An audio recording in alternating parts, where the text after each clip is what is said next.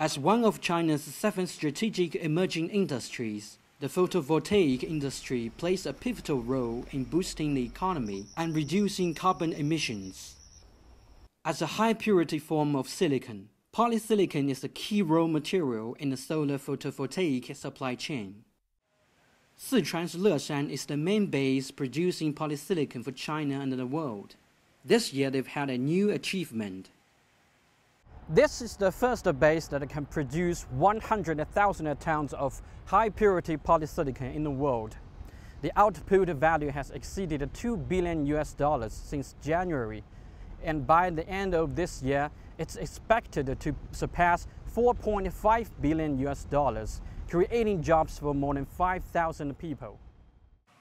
In 2021, Leshan produced about 110,000 tons of polysilicon, accounting for 18% of the global output.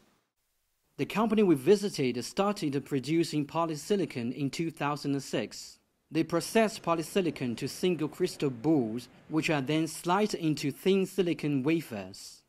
Over the past decade, the company has been developing its own technology to produce polysilicon, and this year's new achievement is also crucial in saving energy. 我们说十万吨来讲的话， 100,000 tons of high purity polysilicon can create a 40 gigawatt power system, which can in turn generate 500 billion kilowatt hours of electricity a year and cut 400 million tons of carbon emissions. So, this achievement helps the economy, creates jobs, and contributes to China's carbon neutrality goal. Liu Leshan has been studying silicon and producing polysilicon for decades.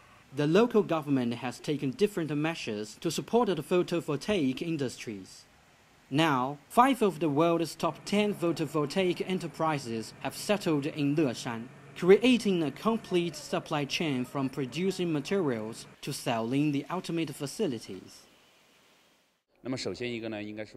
We introduced policies such as lowering the price of electricity and water for photovoltaic enterprises. The government also helped the enterprises build a big industrial park with nine substations so they can use electricity well. Sewage treatment plants have also become fully operational.